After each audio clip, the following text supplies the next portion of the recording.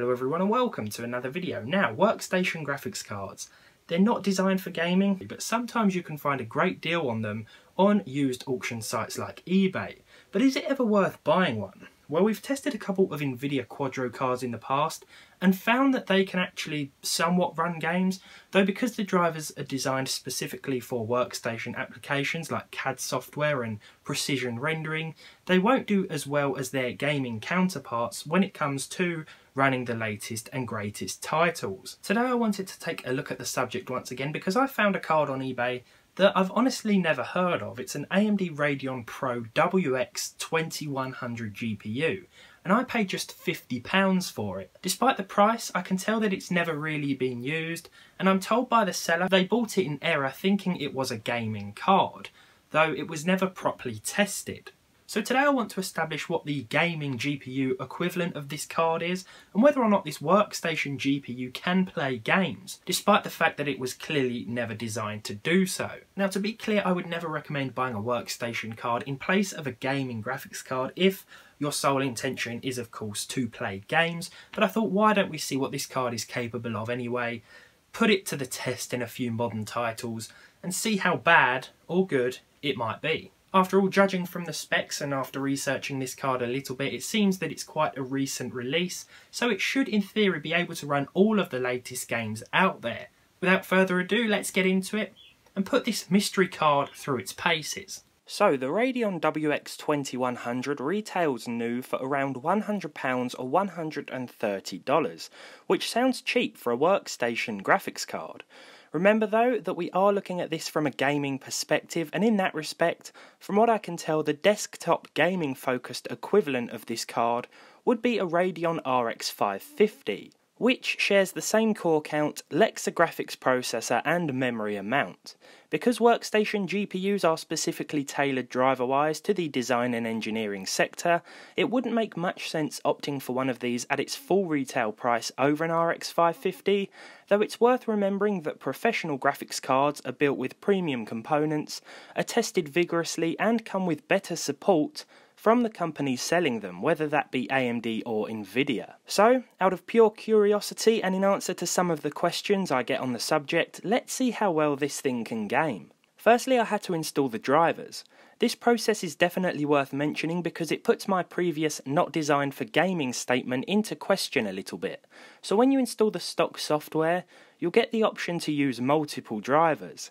If you select yes, the installation will continue as normal with AMD's Blue Professional theme. Once that's all done, you'll then see a driver options button in the AMD menu.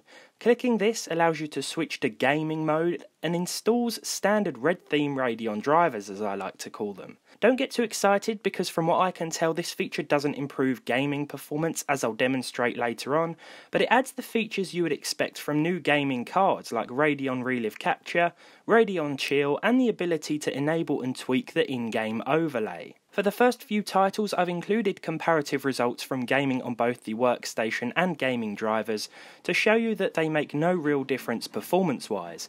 In fact, switching to gaming drivers actually knocked a few frames off the results.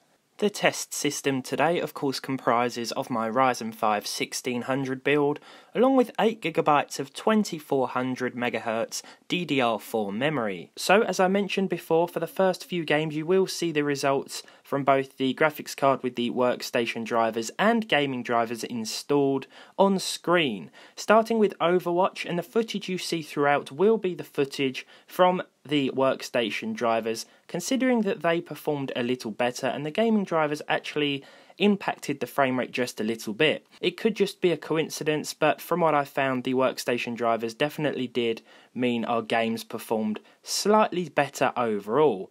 With Overwatch, the game averaged over 70 frames per second with the medium preset. The resolution scaling here was at 100% and anti-aliasing was turned off which proved to give us a good few frames extra. Overwatch here was more than playable and I tested the game across a few different maps though the comparative results between the two drivers were tested on the same map on an online match. As you can see here, the footage was from an AI practice, but I always take the real figures from an online game. I simply show footage from a bot match, so to speak, because I get wiped out far less often, and the footage just flows a lot better, to be honest. Now in Dirt 4, the game was set to the medium preset again with none of the extra settings tweaked or touched at all. Here I played through a rally stage on one of the solo levels, though I did also test a couple of multi-competitor events as well and combined the frame rate average 1% low and 0.1% low here to give you a more accurate result of what you can expect across the few different in-game races and options. Here Dirt 4 performed relatively well, exceeding 40 frames per second, but never really getting above 50 across most of the races. So I'd have to say that Dirt was a pretty decent experience, though of course you could lower the in-game settings to low or even ultra low for at least 60 FPS at 1080p. And if you're someone who insists on 60 frames per second, then that would be ideal. Although I can't see you opting for a card like this if 60 frames per second is your main consideration. Now at this point I decided to drop the comparison to the gaming drivers because as I mentioned before, the frame rate did dip a little with those gaming drivers installed and they're not intended to improve the performance at all rather than add a few features. So at this point I dropped the comparisons and just focus solely on the workstation drivers. In Far Cry 5 at 900p I had to reduce the settings all the way down to low in order to exceed 30 frames per second almost constantly so there won't be any major dips to the mid or high 20s which made for a pretty decent overall experience if you're happy, of course, with 30 frames per second. Fortnite, on the other hand, well, that ran at 60 frames per second at least with the low settings. Turning things up to medium gave us about 45 to 55 frames per second on average, but I thought, why don't we go for a fully fledged, smooth 60 frames per second here? So I turned everything down to low or near, kept the resolution at full HD, and it was a pretty decent overall experience, I have to say.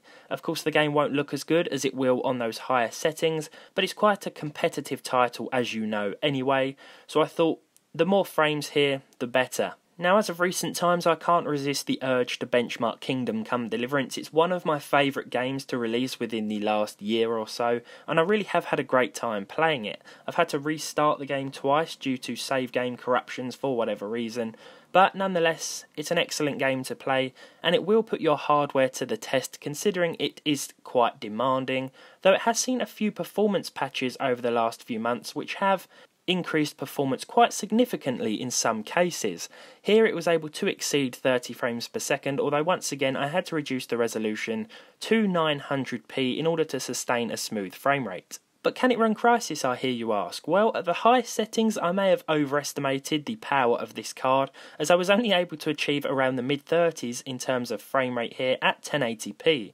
Turning things down to medium or low will drastically impact the visuals of this game, so I decided, hey, why not just try and stick to a solid 30 FPS or above, which I was able to do so with everything on high. You could probably tweak a few in-game settings individually to sustain a higher frame rate if you wanted to, but here at high settings, Crysis ran with about 33 to 37 frames per second most of the time, though this will drop the more enemies there are on screen and will increase the uh, emptier the area. GTA 5 actually hovered around the mid 50s in terms of frame rate with a mixture of settings. Some were on high, a couple were on very high, and a couple were on normal.